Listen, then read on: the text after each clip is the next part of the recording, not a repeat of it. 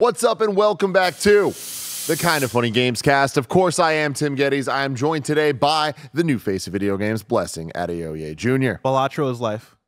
God, are you so? How much of life is it for you? Oh, it's all of life. Yeah, yeah. Any any free moment I get where I, it's just me and my Steam Deck, I'm like, well, I guess I can do a quick run of Balatro, and there's no such thing as a quick run of Balatro. I'm there for like an hour at least. yeah. Great. How much are you average in a day? Like real talk.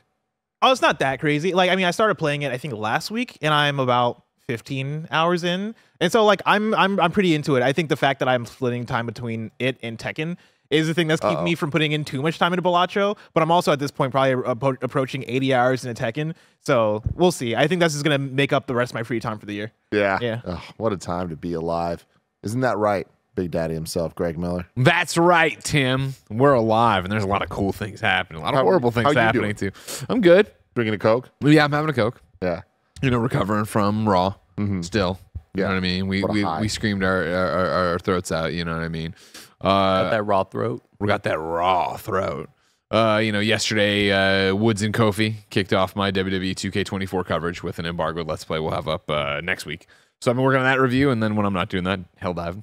Ooh, diving back into hell. Round out the group today, of course, we have the Nitro Rifle, Andy Cortez. Great afternoon, gamers. Great afternoon to you all. Uh, but of course, this is the kinda funny games cast where each and every week we get together to talk about video games and all the things that we love about them. Uh, if you love what we do, please support us with the kinda funny membership on Patreon or YouTube to get all of our shows ad free. You can watch us record them live, and you get a daily exclusive show called Gregway, where Greg talks about whatever he wants, Gregway. normally answering questions from the audience. What's today's Gregway about, Greg? Uh, the fact that it's a 20 minute epic as I unpack a thought I've had for a long time about what home actually is, you know, and how WWE's kind of home and going to arenas and things like that are home. Fun. I love that. Thank you. I'm glad you Love that a lot. You guys can hear 20 minutes of listen that. to it. Just how Uh, about yeah. you watch it for once? I know, right? Asgard isn't a place, it's a people. right. it's the people, of course. Uh, you can get Gamescast for When you free, though, family. with ads and without the exclusive content on YouTube and podcast services also around Andy over there. the globe. What's up? So that's also Andy. Did you? I you- threw it in. Oh shit! yeah, my bad. But he didn't. all- a- but he didn't ask me how it was. Is the thing. Yeah, Well, kinda how- he hard. spent time on me and Greg. Yeah. He just didn't spend any time on Andy. Well, you and you gave me such a quick response. You know what I mean? You could have gave me something, I'm but just- no. Look, I don't Don't want. let Look, get you, I man. It's just, not I- about that. It's not about look, that. Greg, I just want him to like. To not- want to I want him to want to compliment know. you and your cool, stupid sweater. Look how cool his sweater is. That's right. Like You a should Sharpie really need one. I don't want to spend money on it. well, then that means I'm spending money on it. they don't just come out of nowhere. Take it out of your budget. you got a marketing budget. You got a little petty cash, don't you? Uh, but like I was saying, you can get this on podcast services as one. well. And speaking of podcast services, shout out to Kinda Funny Game Showdown now being available there and being the number one video game podcast Of all on all podcast services. Uh, for yeah, for video us. games. So thank you very much for your support over there. Uh, thank you to our Patreon producers, Carl Jacobs, Streaking Ain't Easy, and Delaney Twining. Shout You're to- the absolute best. Shout out to the support in general. I sent you that screenshot. Yeah. It's not even worth ever tweeting about charts for podcasts. They're all fucking bullshit and based on yada We'll still do it, though. But it was still nice yeah, when I, I I checked in and we had three of the top five video game podcasts on Apple and I screenshot. It was Game Showdown, then it was like the besties, then it was Games, Games Daily, Daily. then it was Game Scoop, and then it was uh, Gamescast. Like that's that's nice. love I like to see that. it. Love to see it. So yeah, thank you all so much for that support. It really does mean a lot to us. Uh, and if you want to support us and hang out with us all day on Thursday, February 29th, the launch day of Final Fantasy VII Rebirth, a leap year day. Which is always very exciting to me. I, I find more joy in that than I should. Uh, you can hang out with Andy and Mike. I, I want to read this because I really like the the copy that somebody wrote. Was this Mike? It was Mikey, yeah.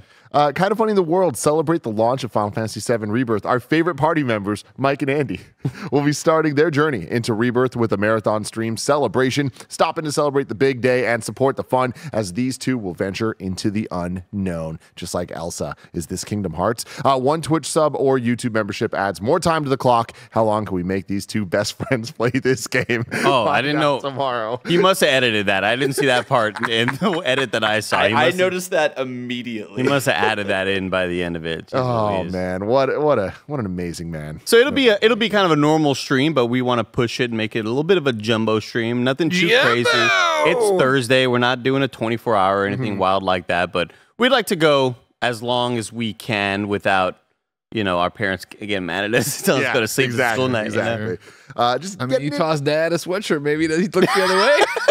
You know what I mean? Exactly. So this episode of Gamescast is going to be kind of a, another one of those catch-all what we've been playing because like we've been doing a lot of reviews, a lot of previews, a lot of big things. We haven't been coming up. together in a long time. And yeah, exactly. I walked in, I stared at the desk, I'd ask Blessing where I sit. I was like, I don't, I forget I if, don't it's, if it's an actual core group. What is it? Yeah, because uh, we've been doing a lot of reviews that kind of splintered us off onto different shows or, or whatever. A lot of Final Fantasy stuff, which your boy's been thriving out here. Plus, and don't worry, we're still gonna get some rebirth thoughts today because I want I need to know what Andy's been thinking uh, with his time of the game. But before we get into all of that, I got a quick little one, two, three, bang of some games I've been playing that I want to talk about. One thing I want to get out of the way. Don't worry, I'm not going to talk about it too long, but I do need to talk about Pokemon Go because Did you catch him all? today marks my one year anniversary of playing this game Whoa. hardcore. Like every, I, I've played every single day for an entire year.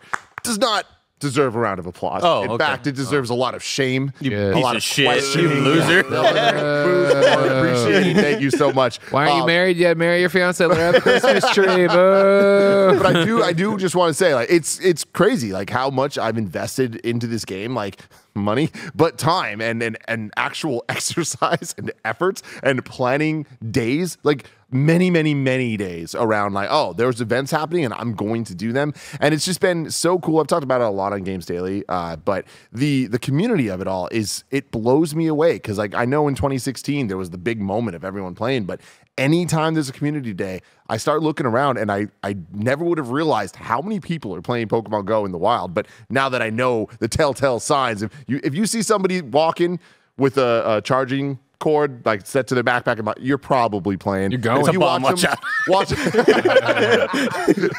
it's an electron. There's an explosion. Uh, if you see like uh, people walking and just like spinning their fingers, you're like, oh my god, they're going. And it's been wild. They're like, going. They're, they're going, baby. They're going. And uh, it's just been so cool to see the the varied groups of people that are playing the game that I run into. And there's been a lot of people that I've run into oh, time and time again now. Like me and Goldfarb have been making friends out there and like actually trading with people that went to Korea. So they got like regional exclusive ones and came back and they're like, oh, you guys were looking for the Skiddo. Do you still need it? It's like, we do need the Skiddo. so now we're fucking rated in Skiddos, baby. It's awesome. Uh, but yeah, it was cool this weekend. I saw a, a family of like, a multi-generational family playing this game. This old woman's playing and this five-year-old boy's playing. And I'm just like, Oh, this is, wow. this is incredible, man. It's like the t- it's like the commercials that they show you, It like to kind of really make you cry. Yeah. Totally, man. And you know, we all made fun of the Wii commercial uh, or the Switch commercials and then playing, and it's like we've all been in those situations where it's like, oh, that kind of actually happened. I feel that way about Pokemon Go. It's uh, it's just absolutely wild. Uh, what's Greg doing here? What's happening here? Gurgler wrote down a message for me to read Mm-hmm. to everybody. I get a skiddo in my shorts if I don't wipe too well.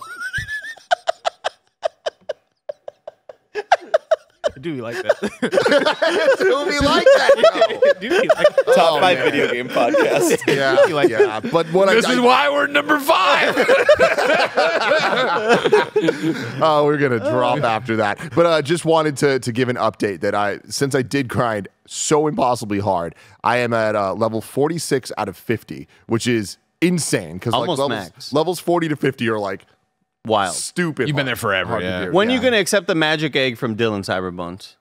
It's not the match. Or I don't even know what it is. He's so- just- it's just that's the problem, man. It's like you, you got a gift every day. There's so much back and forth, and I, I'm good about it. I'm like really good about it. But there's no way to message or communicate because it's a kids game, so they're not trying to like have you be weirdos. Jim Ryan. Yeah, yeah, yeah. So it's hard to communicate with people and like time certain things.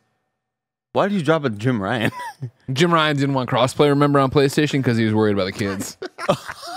oh, well known video game fact. You should know that. You should go pull is it up. true. Oh shit. That is all true. No, I, we need we need to figure that. out. It's just hard to coordinate that stuff. But uh, if you're listening, just do it. Do it on your own time. I don't. I won't need to worry about the experience points. You get them yourself. I'll probably be fine.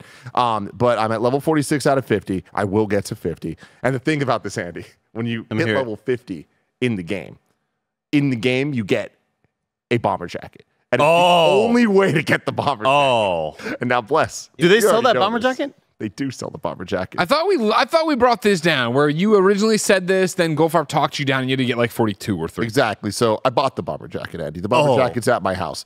But we were talking. I was like, But you didn't earn. I don't want to have to wait jacket. till 50. Once I hit 40, I'll do it. And at this point, I was like level 26 or something. I fucking breezed past it. I hit 40, and I was like, no, no, no.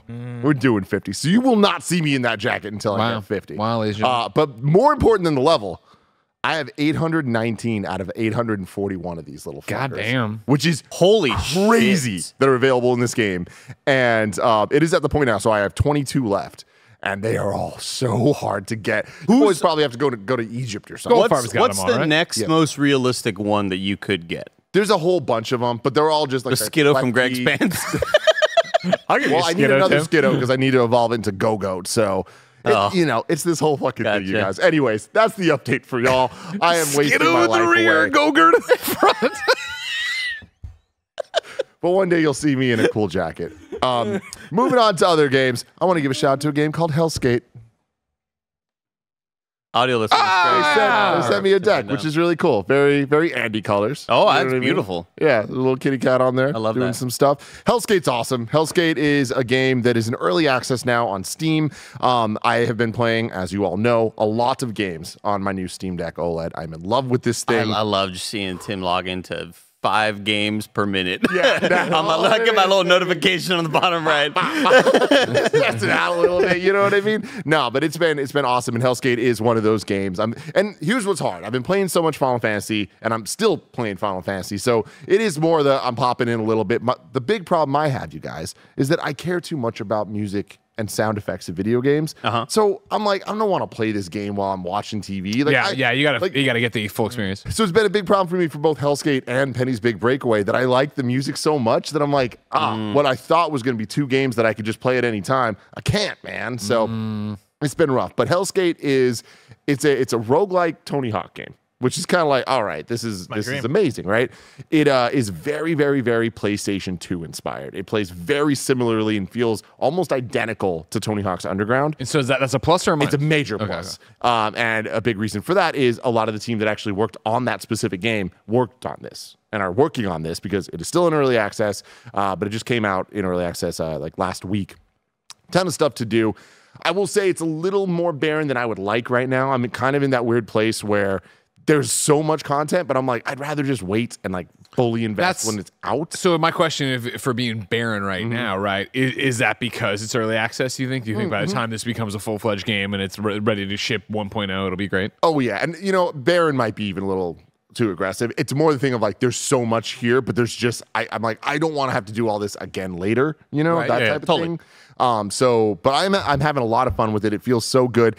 It's that Tim thing of me being such a little bitch about this, where it's a game that's like games that I love. And it's n- so close to being exactly it, but it's not. And so like there's no revert, or at least so far I haven't had a revert. And that's really it's really, you know, harsh in my vibe, man. Um, but besides that, Explain that, It's a revert. revert. A revert's when you can. They added it in Tony Hawk Three. When you come down onto a ramp, you can hit R two, and like turns your your board around, so it extends your combo from Uh, uh, uh, moves okay. into a manual, and you keep going. Um, so not having that is is uh, is a bummer for me because like I really really like that uh, for combos. The game doesn't need it though because the game's more focused around combat, which is pretty funny. But you, the concept of it is it's very similar to Hades and Tony Hawk, where Yeah. you start the level out and you get to choose one of three different like buffs and the buff can be uh, more hp or the buff could be here's a special move that allows you to shoot fireballs bigger or something like that. Every trick you do is attacking enemies. There's enemies around the the world and as you defeat them you move on to the next like portion of the level and as you go in there you can kind of choose three between three other things that are going to get you a buff in the next level. So very much a roguelike and i'm enjoying that and the concept of a tony hawk like that brilliant and i would have never thought about it but it's so good the music is very tony hawk inspired it's not licensed music but it has that uh, you know I don't even know how you'd call it these days, but the the pop punk vibe um, with some metal and some hip hop, but like that mix. I will say it. There is some like level of licensing to it because it demonetized my video. oh, really? and it was all like by the song owners or whatever. And it Mm. was I, I don't know if it was multiple owners or just like I don't know what it was, but it was like, hey, you can't make money on this video. So I chop maybe that it, shit so maybe it is licensed like it's yeah. just not it's not ACDC. Right, right, You know what. I mean? And then Goldfinger and things like that. But I love it. It's like the they're totally nailing the vibes I'm looking for. Um, it's a little hard to wrap your head around the controls of it because like adding like the reason I say it plays most like Thug is because it reminds me of the getting off your board in Thug, which I don't know if you remember, Bless, hmm. was not my favorite part of that game. Like it controls a little wonky compared to being on the board. Adding the combat, you really need to wrap your head around. It's like, oh, this isn't Tony Hawk. It's very close, but there's different things you got to do. And once you kind of like get into the zone of it, it is so awesome. And you really just get into that that that flow state and there's like boss fights or like bigger um, enemy encounters where like there's like a big dragon and then you need to like grind along the dragon's back. And i'm like this is freaking cool as hell. So helskate's definitely something that if you enjoy tony hawk games at all i would highly recommend giving it a shot. It's awesome on the steam deck. It runs so well and uh, i'm very very impressed with this thing and i can't wait to see more of it in the future. I'm, I'm happy that they're getting it out this way because i do think they're going to learn a lot about the balance of the different upgrades to when, when the final product comes out. I think it's going to be something really special. Um, so uh, right now i would say if you enjoy tony hawk at all you should definitely give this thing a shot. Um, but i don't think that it's like gonna like change your mind about skating games but this is the closest to a tony hawk game a non-tony hawk game's ever felt to me so Wow, okay. that is like a major major major compliment so shout out to them for that uh, And do you ever? I mean, like, yeah, this is a good holdover. You said, but it's you know the closest it's been. Da da da. do you ever just stop and think about getting a skate soon? There's just skate coming. This is gonna be so great.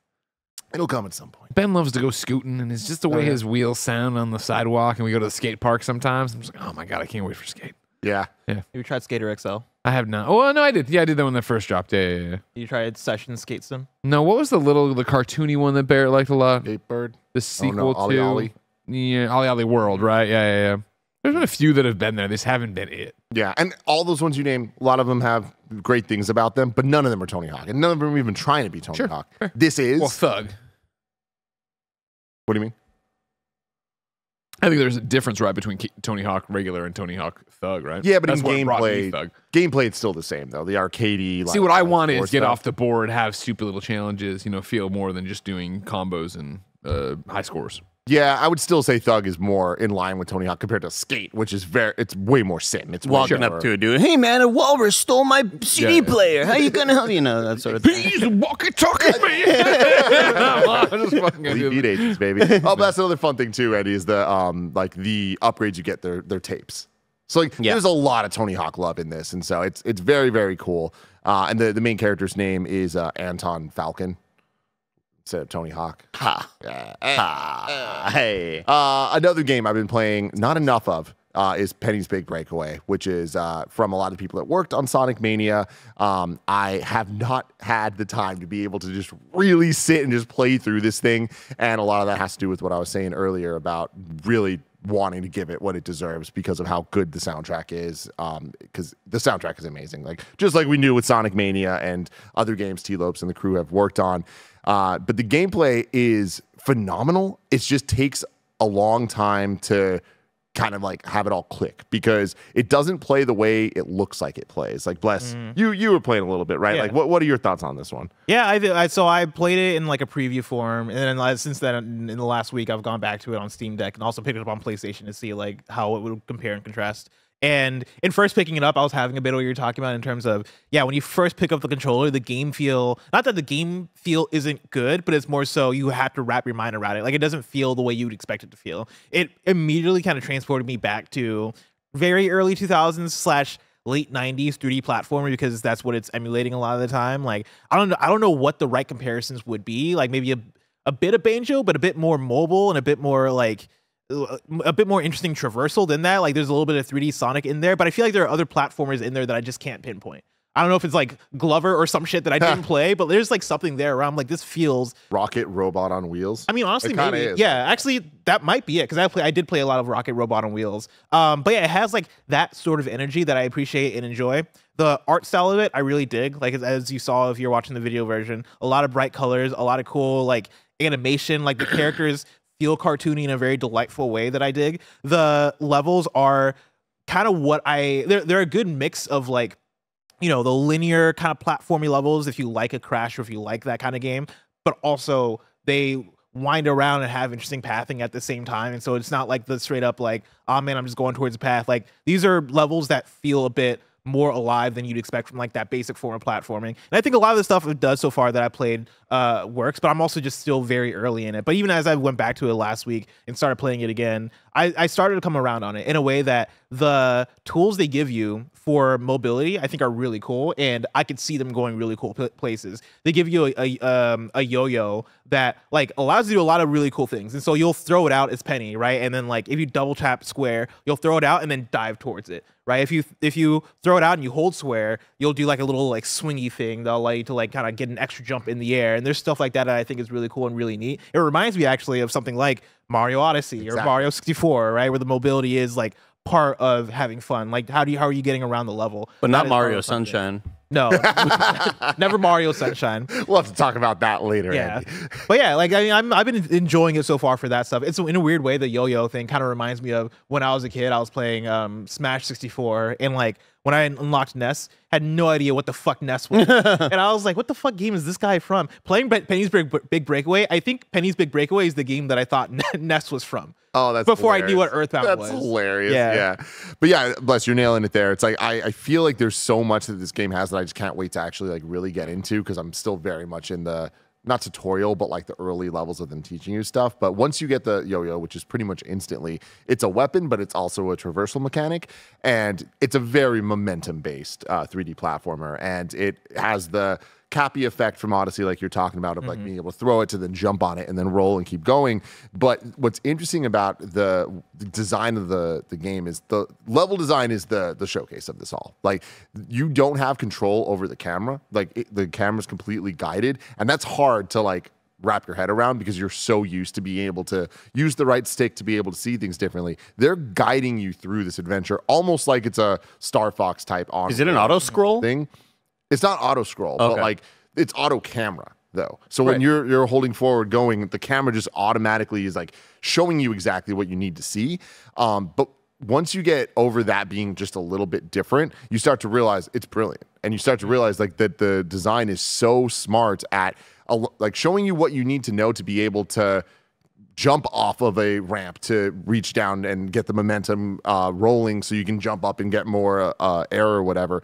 And it starts to become this like beautiful rhythm as you're uh, jumping around because the right stick controls your yo-yo. So if you're swinging it around, it just swings it around uh, to attack. But then you can also, like Bless was saying, like jump and like use the dashes. When you land, though, you can use R2 to jump on the yo-yo and kind of like run on it so it like speeds up and it's just like the perfect move set for um, both combat and just platforming and getting around. And what is super cool is it, there's a lot of enemies you're just kind of like fighting but there's like penguins that attack you in a lot of the levels. They're not always there but these like little guys will just run and like one of them is not really going to mess you up but when there's like 10 or 20 of them on you everyone slows you down and just like kills the momentum and it gets really scary and claustrophobic and if too many of them get on you you eventually like you lose your life or Perish. whatever. yeah. It's just like it's this cool thing that just like I it does I don't know what it reminds me of, but it's like it just it's fun. It's like there's like a, a video it feels game like magic something to that it. it, it feels like something that, that is classic, even Yeah. though yeah, it's taking like a lot of modern influence from Mario Odyssey and stuff like that. yeah, the- a lot of creativity to it. a lot of those shots you were mentioning the camera kind of being fixed and it might be like in this weird orthographic kind of camera view are you controlling penny like it let's say the camera wants you to run like from the top of the screen to the bottom left are you pushing bottom left are you still pushing up to control penny So ah man, it's so hard to explain this because like it, it just gets you so tripped up. But the thing is, it controls the way you want it to. You just need to trust it. Okay. Like that that's the thing that I think is hard to like get over. But just do what you want to do. The camera's gonna go where you need it to, and you holding the left stick the way you want it to, your character's gonna go where you want. Okay, And gotcha. That's the thing that I'm like very impressed by, and like I feel like a lot of other games don't naturally do that because I think about something like Ratchet and Clank, which is a bit more or way more of like almost a third person shooter in a way. Right. So you're always using the camera. So you're just kind of like taught to do that. And even when you're playing uh, Mario, like even Mario 64, that's a bit more like you're you're always adjusting the camera to like set up your run. You just don't need to do that here. So it's like uh, it's definitely weird, but them being so momentum based and obviously inspired by Sonic, like this game's them being like, what if we did a Sonic in 3D but made it good? Hmm. You know, that's really kind of like the thesis statement of the game. And I'm impressed so far with how well they've done that, specifically because the game, if anything, I've, I've already made a lot of comparisons, but the gameplay of it most reminds me of the quote unquote 2D levels in Mario Galaxy Okay. which is a, a very high uh, compliment there. So can't wait for more of this. I definitely feel like people should uh, give it a shot. Doesn't seem to be reviewing as well as I expected it to, but um, I'm, I'm having a blast with it. I think there's something special here. Uh, Penny might be the second worst uh, design platform mascot character since Astro Boy. God damn it. Um, You can't Astrobot say that of all. seriously, Tim. Come on. Idiot. I don't know, man. I don't make the rules. This is the guy who got five points off this game on Fantasy Critic. Don't listen to him, people. This is what talking about. I'm trying. All right, I'm trying. Uh, but anyways, that's my little uh, Steam Deck adventures. Before we move on to other big things, though, Barrett, you have a Steam Deck adventure you want to talk about. Uh, yeah. Uh, when I was finally able to pull myself away from Balatro, which was really hard to do, uh, I finally booted up Ultros, which was kind of on our radar. If you remember, I forget like if this was at a PlayStation showcase or something, but this is like a really trippy Metroidvania that I've played like the only like the first hour of. So it's just like first impressions. I, I I'm really really digging it. Um, really fun combat. Uh, just something about it that just the flow of it is really interesting and i think there's just something that's hitting me with this game that um, didn't with uh, prince of persia that's like making me want to go back to prince of persia. Like i, I enjoyed prince of persia enough but uh, there's like a lot of exposition a lot of talking a lot of uh, explaining things. Ultros it really just like throws you in and you kind of just gotta figure it out uh, whether it's like gameplay mechanics or just like what what things you're picking up, where to go, all that stuff. There's just like a certain flow to it all that I'm really digging and appreciating. And so I just really just wanted to shout it out as like, hey, if you're in the mood for more Met- Metroidvanias and you like really weird art styles and like really like uh, Tim, you said like a Adult Swim type of inspired art style. It's really really fun. Like I, I I'm a little past like the first like kind of tutorial boss or whatever, um, and I think it's a good vibe. Like the only thing that I have like a, a critique about it is like your character walks kind of slow, but that's pretty much like the only thing that I, I can knock it for right now. But yeah, it's it's really cool. It's really fun. I'm I'm excited to play more of it. Um, so yeah, if you want to play something Metroidvania that isn't Prince of Persia, there's another one out there for you. And I just wanted to shout it out because I feel like it got buried amongst all of the millions of games that have come out in the last three weeks. I know, wild. Uh, well, we're going to talk about more of those games after a quick word from our sponsor. This episode's brought to you by Avatar Braving the Elements. We know you love talking about all things TV, film, and pop culture with us, so there's another podcast that we think you're going to enjoy. It's called Avatar Braving the Elements, and it's Nickelodeon's official companion podcast to Avatar The Last Airbender. Y'all already know Barrett loves Avatar. He thinks it's one of the best coming of age heroes' journeys out there that perfectly blends enticing action, great comedy, and social commentary that's all backed by great art style and an iconic soundtrack. Each week, host Janet Varney, the voice of Korra, and Dante Basco, the voice of Zuko, rewatch every episode of The Last Airbender. They're joined by special guests like the cast, superfans, and even the creators of Avatar, Michael DiMartino and Bryan Konietzko, for a deep dive and behind the scenes look into the Avatar verse you can't get anywhere else. Whether you're a longtime bender or new to the series, jump into the epic world of Avatar with Avatar Braving the Elements. Listen to Avatar Braving the Elements on Apple Podcasts or wherever you get your podcasts. Y'all need to check out Kinda Funny Game Showdown, our weekly video game trivia game show. You can watch live on YouTube or on Twitch every Friday at 11 a.m. Pacific time. But now, thanks to popular demand, Kinda Funny Game Showdown is available on podcast services. Whether you're listening on Apple Podcasts, Spotify, iHeartRadio, or anywhere else, please subscribe and rate the show five stars. It really helps us get Kinda Funny out there, and we couldn't thank you enough. We aim to make this a video-only show, so many of the games be best enjoyed watching on YouTube. But despite that, enough of you guys asked for audio versions, so we're making that happen anyways. Of course, that also means if you have the Kinda Funny membership on Patreon, you will now also get the audio version of the show ad-free.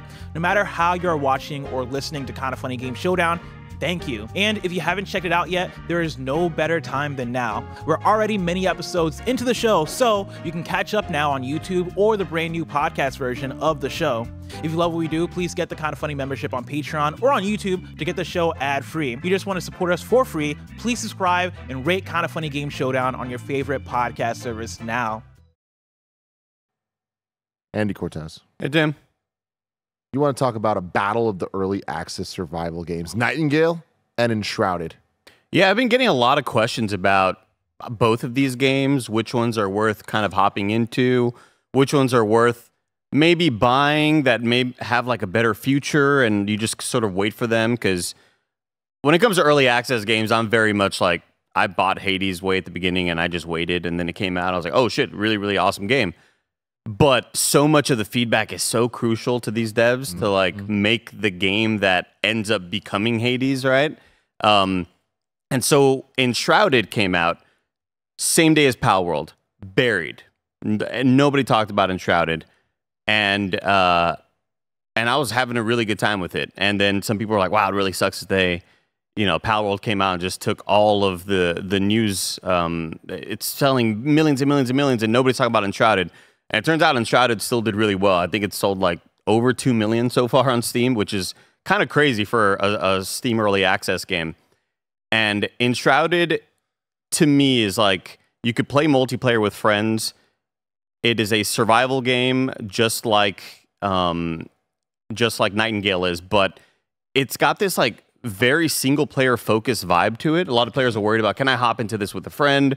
Should I do I need a, a, group of people or will I be able to enjoy it alone?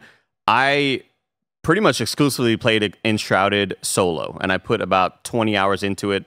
The building in this game is phenomenal. It's all voxel based, just like you know, think of like Minecraft, where you could just kind of dig wherever you want. Um, you're you don't have to find like certain rocks that are craftable or lootable or breakable or whatever. You can just kind of break into whatever you want. You can cut down any tree, build a house of your dreams. But it's got such a good single player loop, and it's one of the first survival games that's not procedural. That, at least to my knowledge, um, that I've played. Like everything else, you hop into a world. You might see like certain houses and little thing layouts that are familiar looking because that's how the devs kind of coded them. But the world is all handcrafted, and it's a massive world, and that may turn people off because you're not getting a different experience as everybody else, but it's actually pretty sick to experience this game uh, because it is so it's so designed and the things you're experiencing are because the devs wanted you to find that thing in that area. And there's so many moments because it is voxel based that you could dig wherever. You might see a spot on the ground and you start digging and suddenly you look down in that hole and there's a massive like kind of underground dungeon. You're like, "Oh shit, I want to go in there now." And I think it's just got a really good loop loop to it. It's very Soulsy type combat, but I don't think it's like amazing by any means. What's up, Les? Question. I have a, a, what I think might come off as a very ignorant question, but like I am not like a survival game person, and so this is a genuine question. What is it? Since you're talking about it being like very handcrafted and all this stuff, what is it that makes it survival and not just an open world action game? Um, I survival always go whenever you throw survival in there, you got to assume you're going to be crafting and knocking down trees and breaking into rocks and minerals and finding a new. Uh, you explore far enough, and now you found uh, this really cool gem, these mine of gems that you can then craft and then bring back and make a new item with. Whether it's mm. uh, a new weapon that you could craft, you uh, you end up kind of like organically finding different um, what do we call them? Like the the people that there's a guy who teaches you leatherworking, and there's a woman who teaches you spells, and so alchemy, blacksmith. Yeah, you find them kind of around the world, and they're kind of trapped. You need to rescue them, and then you can have them at your base. Yeah, you kind of like spawn them in your base, and um, the the idea. I think the things that are survival about it, though, aside from just all the crafting and base building, is uh a little bit light. Like I, I hate hopping into when we would play Icarus or Valheim, and it can get a little extreme at times with um, my character's hungry, my character's thirsty, my character is about to pass out because he's not he's super tired or whatever. And those games went super extreme with it, and I think Enshrouded mm. went the way opposite way with it. And it's like you kind of don't have to worry about that. It's like, ooh, I thought I was gonna love that, but I'm like, no, I kind of want the game to to force me to, you know, eat that piece of chicken you cooked, man, and you'll get like these buffs and Uh, I think it's a little too lenient on the survival side, but just exploration, uh, moving towards these zones. The whole idea is that like there are these zones that are enshrouded, and it's like this sort of red kind of gas that hurts you when you're in it Sure. for too long. And you, every time you enter it, there's a timer. You have like five minutes you can last in the shroud. And you level up your character, and that timer will get longer and longer, and you can kind of keep exploring. Um, I think the combat is kind of its weakest point. It's not bad by any means, but it So talk to me a bit about this. Looks amazing When I look at it, Yeah. it looks awesome. It reminds me a bit, or it reminds me, I guess, just as a, at a look of Kingdoms of Amalur Reckoning. You say it's Souls like though. So are you talking it's more like dodge roll, wait, or is it counter? Is it you have dodge rolls, you have parries, you have you have spells, you have you know you can find uh, the magic person that lets you like use your magic wand or whatever. You have bows and arrows and all sorts of things Yeah. like that. I think the the Souls like aspect is like having these these predetermined move sets that you know this boss is coming at you with this move. Let me dodge okay, here. okay. It's it looks awesome. Uh, you know, on paper, but I think it's like not fully realized yet. Again, early access, all this stuff could improve, um, but it's still fun enough for sure. Um, I think I'm just more blown away by the level of quality in this early access title and discovering all these things uh, about the world that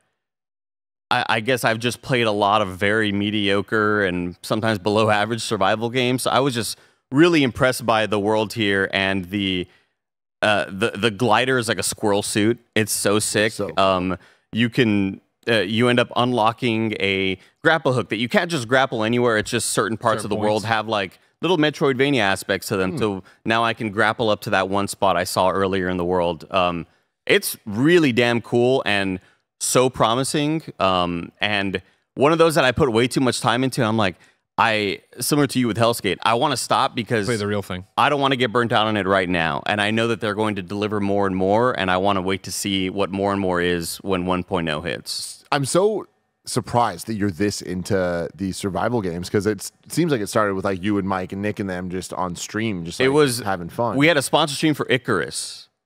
It was a, an NVIDIA sponsored stream where we played Icarus. And we were like, yeah, sure, we'll check out Icarus. And then I put in like 80 or 100 hours into Icarus. And I just got really into the loop of it. It's just a super satisfying sort of thing. And yeah, Enshrouded being one of those titles that was super highly anticipated and came out. And again, Palworld dominated all the news. Yeah, yeah. And some people were like, man, poor guys over at Enshrouded just getting buried. And they still sold over 2 million copies. There's still a lot of rad, yeah. excitement uh, behind the title. So um, Enshrouded, I absolutely recommend it if you are if you don't have a crew to play with, totally fine. Don't worry about that. Play solo. It is as rewarding and cool just to kind of explore the world, and it's very much like Breath of the Wild sort of vibes. I, don't want to. It's like when someone goes like, "This guy reminds you of LeBron James." It's like, well, he's you know, chill out a little bit. It gives me the vibes of just walking around and going in certain areas and directions and just seeing that next thing, digging into this area. I, the building is so phenomenal. The building is like probably the best base building I've experienced where you can uh, you can like just put two flat walls of stone up, but then you can carve in singular blocks into the stones. It's not just like here's your set like window pattern. Like this wall Sure, has sure, a window sure. on it. This wall has a, a, a little like slot for the door or whatever. Because it's voxel based, you can just kind of you end up having like a little cube that you can like remove stone from this section remove st- it's so freaking awesome um there was a great a great video on tiktok of some guy streaming this and he was building an underground kind of basement for his house and he's there after this. hours and hours and hours with this little just Pickaxe. just just using a pickaxe just using a shovel and digging and people were like and the video the tiktok starts with him being like what do you mean i can do that yeah i'm using the shovel and then he scrolls and finds the this like it, it's just like an invisible cube kind of icon he's like Just what is it out. he's like are you kidding me and he just he's just able to remove gigantic blocks from the underground he's like dude i've been digging this fucking Three hole hours, I think, is for what it was. three hours and he could have just like removed everything um it's awesome highly highly recommend enshrouded and what about Nightingale? so Nightingale, I previewed it and immediately was like, this doesn't quite have the stuff that Enshrouded has, but it still is promising enough at the start. And then I think it seems very run of the mill and super generic at first in terms of like what a survival game is. And they they throw a lot at you in terms of there's this little guy talking to you and he speaks very Shakespearean and it's really hard to understand. You know, he's just throwing a lot of words at you, a lot of verbs, a lot of here So two verbs. a lot of henceforths and here two fourths and shit like that. Is that a verb? Who knows, man? Ask him, bro. Um, but um, your ear off. the idea of Nightingale is that um, uh, once you understand how the game wants you to play it, it really opens up and gets very, very exciting. And just like a game like Enshrouded, or just like a, a lot of other different games, it, it starts you off by showing you immediately in the tutorial here's what you'll be doing. Not only are you going to be crafting mm-hmm. things, but you will be portaling to different worlds.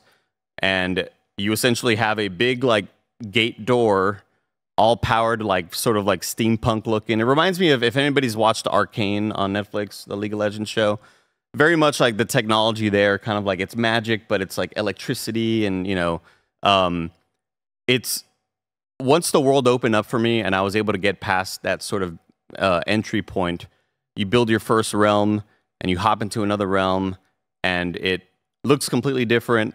It may be just be like a bit of a color change in some ways, but it's still really neat to experience when you are finally able to go to the first portal and you find new things in these new worlds that you can then bring back.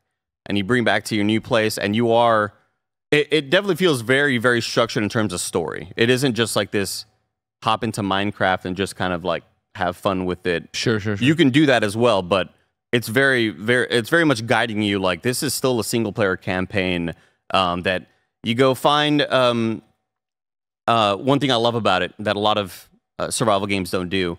Whenever you have like a pile of rocks and you're like i just need to drop all this. I'm, my character's walking really really slow right now. I'm, I'm encumbered right now you can break it down and, and it becomes one of the world's main currencies. You can break anything down similar to like breaking down a weapon in destiny or something like that. Uh, and you can use that inventory or you can use that currency to then buy from essence traders. You break it down to essence you go to an essence trader and the essence trader is selling the blueprints to build a fucking sink or a volleyball court. Oh, not things like that but you know what i mean um, and it's like oh great like i do need it i want that new door i want like new i have my house built but i would love to have a different type of, of roof or whatever Sure, make it your own. and so the the core gameplay loop is essentially going to different realms, continuing the story while seeking out like for me new essence traders to see what else I can bring back home to like my main spot. One really really awesome thing about it that a lot of survival games don't do is like when we played Palworld, it's like Mhm. You're gonna have to hop into our custom server that we bought from a website. Yeah.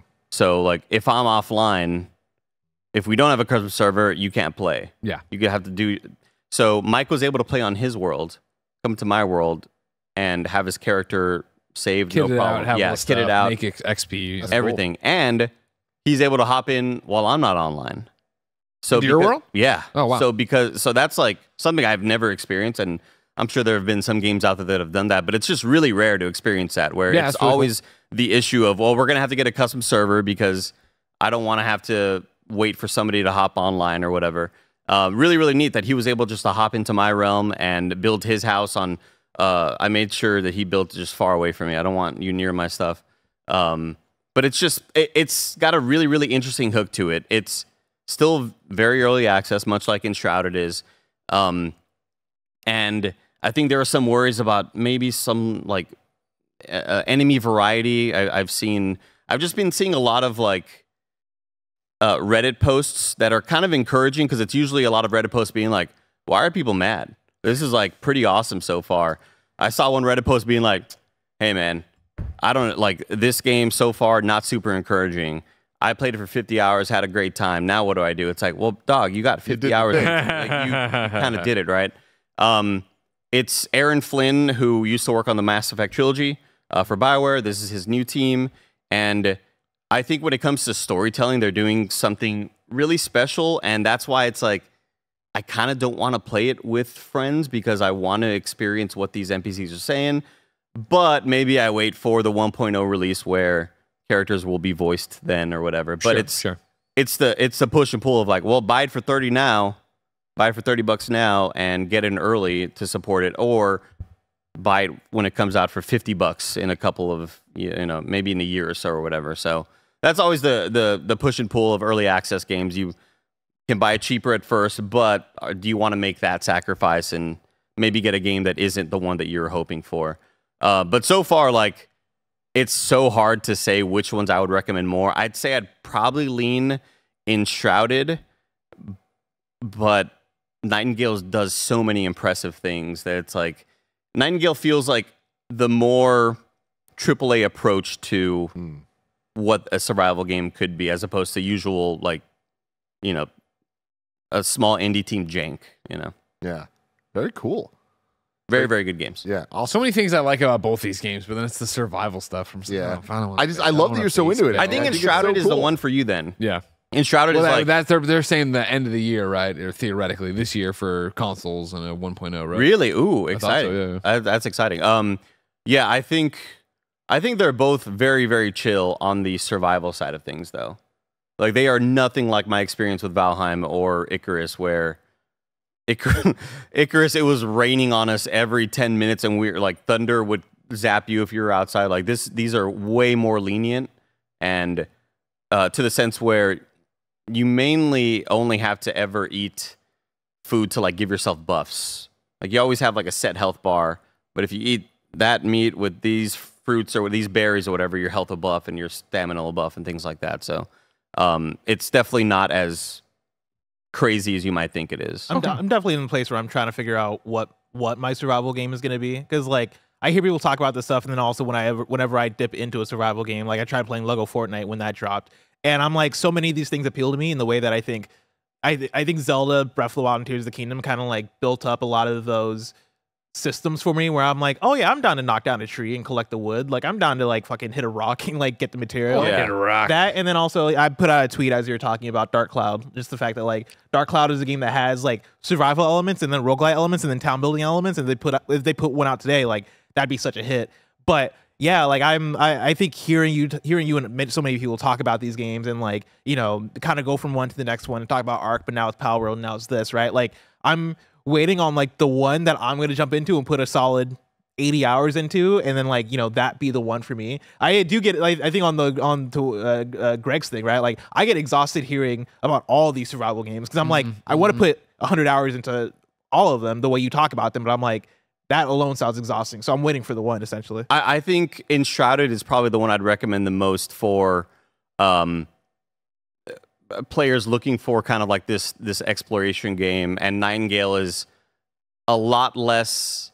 Uh, I, I think it's a, a lot less like just go in any direction. It's a lot more guided, um, but it is really neat to. You're going into a new realm. You're opening up this new portal. You walk through it. Really long load screen, by the way. load screen load times are kind of nuts. But then suddenly you're in this desert world. It's like, okay, what the hell am I going to experience here? And you see crazy fucking monsters and big giant walk-in like you know cyclops looking dudes. Like, dude, wow! Like this place is kind of insane. And also, I forgot to mention, uh, Nightingale's running on Unreal Engine Five. It is stunning. It is so gorgeous. Um, having the the light leak into your house and like the the side of your house is like kind of green because the green from your the grass is bouncing onto it's fucking gorgeous, dude. i like the light leaking into your house i like that phrase Oh, yeah. that's a verb right there Oh, yeah. That's a verb, man. That'd be bourbon. the the game the next hello games game that they announced at game award Everything or whatever. is that what it's called No, but Oh, it's everywhere all at once. Yeah. everywhere everything everything everywhere Mike, all- remember when Mike was googling uh, game? Hello Games next game.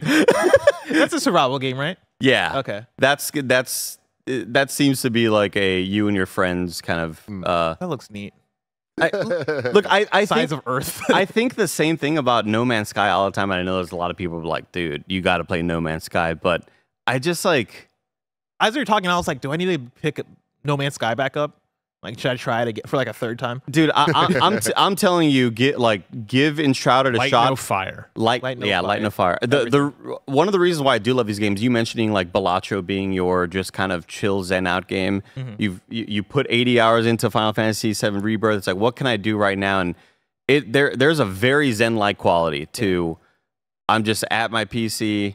I have a podcast on. That's the thing is, I want to build something while having a podcast. Uh, dude, oh man, it's I wanna build a perfect community. for that. I want a game that doesn't need my entire focus. yeah, like I, I think Enshrouded's building is by far the best I've ever experienced in a survival game, and I'm insanely impressed. I, I'd say Nightingale doesn't have the same amount of things to build yet. There aren't like a whole lot of, um, you don't get like this forecast of here's all the things I can build in the future, um, and it doesn't seem as enticing at first. But I think the level of customization that you have with Enshrouded, um, and being able to just uh, like I wanted like much taller windows. So I was like, oh, let me just carve like much larger, you know, blocks or holes into this big block of stone or whatever. It's just a lot more uh, exciting with the level of custom uh, customization you have. I think of this shit and like you- you're talking about all this, like, you know, the size of your windows. And I think of like when uh, fucking Fallout 76 made me build, it was just this ramshackle house with like a fucking pot. And then I'm like, doing it. Did I hit the objective to move on? Thank you. Yes, I don't, don't want to do this. I don't give a shit what this looks like. Well, Greg, moving on to you. I know you've Hey, talked you a lot about Helldivers too. I sure have. Uh, but I remember last week you were saying that this was going to be your last weekend to be able to to dive into hell as much as you think you're going to want to. Sure. Did you end up doing that? Yeah, no, the obsession with Helldivers continues. Uh, I'm in the mid 20s right now with my leveling of my character. The PlayStation clock on the, uh, the you know the front there I think says 45 hours in, maybe it's 50 now. Um, and it was very much you know uh, with uh, Woods and Kofi in uh, on Monday to play some WWE. I was kick. I, I kept being like, I gotta, I gotta go play 23. I gotta go play 2K23, get my sea legs back. And every time I would sit down, I would do it. But the first time would be Helldivers. I'm like, wow. Khalif is on. He's got he's just him. I can jump in and help him, and then everybody would join us. and We'd play for a while. You know what I mean? I would like Sunday night, same thing. Jumped in, saw one of my friends. I'm like, wow, I'll go help her, and I was just in. Yeah, I'm still uh, obsessed, and I would still be playing it nonstop if I wasn't on doing another review. Yeah. Do you think you're going to end up being able to go back to it, or with everything coming out? I think I'll go back to it. I think I mean we're doing a stream tomorrow here, oh, right, okay. with the community and stuff. So I think those will be like some nice little saving graces to get back into it. I do feel, and this is speaking not out of church on it. I, I feel like I know quite a bit about it, right? I've crossed over on getting all the stratagems and the things I wanted at level 20 because now that you're past that, like I can get anything I want, right? It- with once I get currency. But I got the ones I feel like I really wanted, really needed. So now there is a bit of like, cool. I can keep leveling, of course, and you know, go up and unlock more stuff and do whatever, blah blah. But I'm not feeling the carrot on the stick as much of like, I am driving for this. I am collecting resources for this. Right now, I'm getting samples because, like, yeah, you get samples and you want them, and I'm like, I will get, I will unlock everything. So that inevitably, when they introduce the next race of uh, people we're going after, right, that it'll be like, all right, if they're weak against this mortar, I'll have it or be ready, or sit on that currency so that when there is the next thing, I can invest and get that next thing to go that way. White men, we're going after. we're going at We got next. bugs over here. We got robots over there. We got white people here. we're going to we're going from super Earth to regular Earth. Um, kick the shit out of some fucking C-suite executives. How's the uh like when I look at the things to unlock on the ship? Yeah. it's like, dude, it's gonna take forever to get any of these goddamn things. How? What's your progression like there? It's for me not astronomical, but it's because of the way I'm choosing to play. I'm still playing Helldivers very much from a, I want to play. I love this. I love the moments and I love the laughs. Yeah. So I'm going to play with Kevin and Joey and Khalif and then you know my friend Mia and that, and I'm getting into things where people are either usually a couple levels below me. Hmm. It, what I need to do if I if, if you wanted to unlock that stuff faster, it wouldn't be hard. It would just be okay, cool. We need people who are levels higher than us to go with us, and we're going to take on harder difficulties so we get the super rare samples. So there's more of that. The XP's rolling in in a different way, kind of function. of Gotcha. it. Okay. But I'm still using it as a social game rather than a. I feel like I need to grind this out because inevitably, you know, Joey, Kevin, all of them will catch up as we go and play more, and then we'll get off to the races of doing that if we really want to. But right now, I'm not feeling the need to go on a you know a level nine Helldivers mission, which is the hardest difficulty and all that jazz. Even though I have plenty of people in my DMs offering it, and I do want to do that with them to see it and get more stuff and yada yada yada. But I'm enjoying where I'm at right now. What a game. What a game indeed. That's the thing about it. Like, you know, I mean, 50 hours in or whatever. It's just the fact that every mission, every time has some crazy thing that happens, or I feel awesome and then it all goes bad and you're dying, you're struggling, you're doing the thing. It's just so fucking good. How how wild that on that drive back after we previewed it, we were like, that was good. Yeah. But I don't know. We'll see. I And, think- and, and I think a lot of it was maybe just not understanding the flow uh, as well as we could have. We Also, I wasn't on keyboard and mouse. Of you know. course, yeah, yeah, yeah. Uh, for sure, coming out of the preview where it was like, yeah, that was Helldivers, and that's great. We'll speak. I we were done, and this is always hard with the preview. The disservice, I think, of cool. We're starting you at level ten, so you haven't gotten that experience of here's your. You start with two. You're, not even worried about what stratagem to take because you only have the Right. one, right? So like you're building out to get to a kit to have a thing, and then also it was that thing where we had a developer rolling with us and they were taking it very seriously. Of move, let's move here, let's do this, let's do that, and they're trying to teach you while we're fighting. So it was like it. They that demo I think lost the fun of Helldivers of like. It's fun to be overwhelmed and not know what's going on, and then also be like, "Oh man, I shot the thing's fucking head off, and its body's still coming after me. Like that's fucking rad." And Yeah. I dropped the thing on you by accident, haha, and crossfire and all that jazz. I think that's what it was missing. It was missing the chaos of getting in there with your friends and not knowing what you're doing or watching people figure it out and like do that. Well, Taquito Broadsword uh, does uh, left a super chat here saying, "Too late for Helldivers for me. Are others too OP?"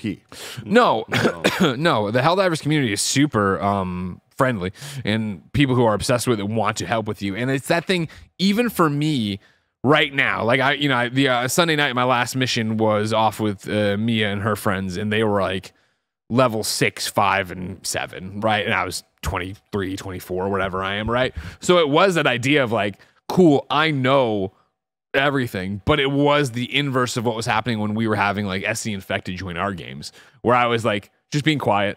Like I'm letting them figure out what they want to do and where they want to go and how they want to engage, right? And like, yeah, I had the cool, you know, I got a backpack drone out there that's killing everything, and I've got my thing, and I know the strategy for taking down a charger or whatever. But even then, it's not like I, I can be, I was one man arming it, taking care of everything. You know what I mean? Like I was hanging back, letting it go, but still feeling rewarded, still getting the samples, still getting fun times with my friends and seeing them experience it. But yeah, when we hopped in with level one Nick, it was like still a lot of fun because not only did we not play at the hardest difficulty, but it yeah, you don't feel like you're at the most ultimate disadvantage. Yeah. Which is great. It wasn't like hopping into like a Destiny raid or something like that, where it's like, oh, I'm too level for this. I don't mm-hmm. I'm too low level, I don't belong here. Yeah. It somehow it, it doesn't feel like an impossibility to kind of get these missions done, you know. Well, I think that, you know, so much of it comes down to experience and strategies, right? Because it really is like, okay, I'm level 23, which means I have the access to the, you know, the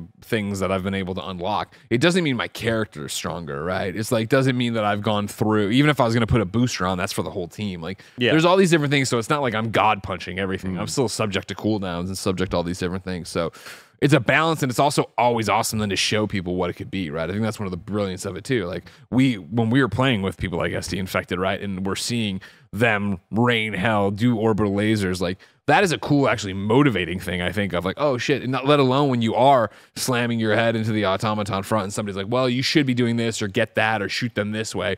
That's the helpful like chain of command thing. I think that really helps. And again, me playing with lower level people like I think back to like, you know, Diablo when I would join people's games and it would just be like, I'm just hitting everything and killing them, killing them, killing them, right? And it was like, cool, not only am I way overpowered for this, I'm getting no reward for it. Yeah. Whereas in this one, it is, yeah, I'm, I'm more powerful in the missions they're doing, right? I'm running usually like a level five or six, whereas they're on a level two or three or whatever. So I'm feeling very powerful, right? But it's also the fact that like I'm getting the samples out of it, which is what I want anyway. I'm getting the war bond medals out of it, which is what I wanted anyway. And I'm with my friends. It's not like there's this huge chasm where it's like, wow, I've wasted a night of my time playing it. Yeah. Yes, I could have min maxed and I could have rolled with somebody who wants to go drag me to a level nine mission, and I could have been like fucking cowering in the back, trying not to, trying to figure it all out as I go. But like, there's a nice balance to it, I think, where you can go play with your friends and not feel like you're screwing it up.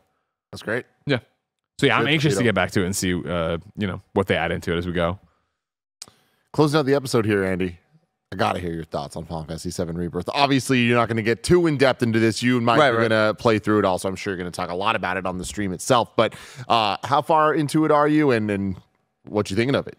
Um, I decided to stop progressing because of our big Thursday stream, and realistically, how much are we even going to play on that thir- big Thursday stream? What? Uh, well, I mean, you know, we had the Starfield stream, and maybe put in about three hours or four hours of progress in 36 Fair hours of streaming. fair enough. um, the uh, yeah, so I I think I put in around 18 hours. Um, did not do a whole lot of side quests. I, I kind of just try to do uh, as much story as I could. Uh, having an awesome time with it. Um, I think the combat they somehow improved it and made it even more intense, but even more rewarding and engaging. All of the character team up moves, the relationship sort of status updates. You know, going to see Barrett and let him like it's it, it does seem in some ways like this is like this is an RPG because I I as Cloud am going to choose to be nice Cloud now as opposed to like very out of character for Cloud to be like don't worry man you'll get it next time and it's like what the fuck Cloud would never be that encouraging but I love seeing the responses from my squad mates and being like oh shit thank you Cloud I appreciate that um, They seem shocked sometimes. yeah, They're like, oh, for sure. Yeah, for sure. Um, yeah, I'm just I'm enjoying the world. I'm enjoying the characters. I I think that um, there's a lot of. I, I tweeted the other day when the embargo went up. There's a lot of there, th- maybe not a lot, but several things you'll want to just turn your brain off and say video game logic. Who cares? Turn brain off. Enjoy product or whatever. But some of that stuff, it's like how the nobody's really nobody like. There's some moments like that where I just like it's frustrating and you can't imagine somebody who has never played a game like this experience it and just being like how the fuck is this being ignored this sort of thing you know but for someone like me who's played you know a couple of final fantasies now at least I, i'm a little bit more uh, easy on experiences or, or moments like that rather um, I, I'm enjoying the hell out of it. I think the uh, I think it's been improved in so many different ways. I think there's a lot of the highs are so astronomically high that they'll like make you forget the last two tedious, boring things you did. Where you're like, man, that shit. Like, why why am I being forced to do that? Yeah, why am I moving this generator? That that seems like an ex- damn, that seems like an extra quest that uh, maybe like a small mini game for extra XP. Why is that part of the main uh, plot that you want me to have uh, push forward or whatever? There's like again, yeah, the highs are just so high that they can easily make you forget the last couple of boring things you did. Um, but I'm still enjoying it. I don't see how I won't give it a five out of five by the end of it. Just really, really impressive, and uh, the level of production when you get into those awesome cutscenes and the visuals and the particles are flying all over the place. It's freaking gorgeous, dude. Uh, my last question. What are your thoughts of Queen's Blood? Queen's Blood.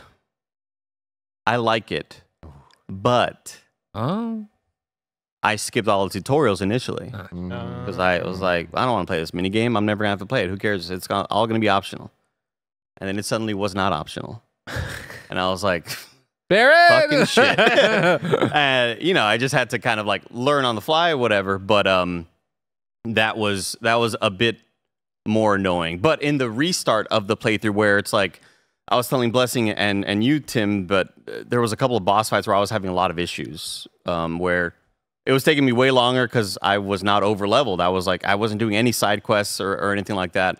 So now in this sort of redone playthrough where I'm starting from scratch, I'm doing a, a lot of these side quests and I'm getting levels and I want to do Queen's Blood now and get XP and hopefully that'll make the boss fights uh, like, you know, a tiny less difficult, but everything's just so enjoyable. And now that I'm actually getting into Queen's Blood, it's like, oh, I want all those cards. Oh, you get this fucking card if you if I beat that dude. Yes, like I, I love it. I really really enjoy it, and I totally understand the appeal for it.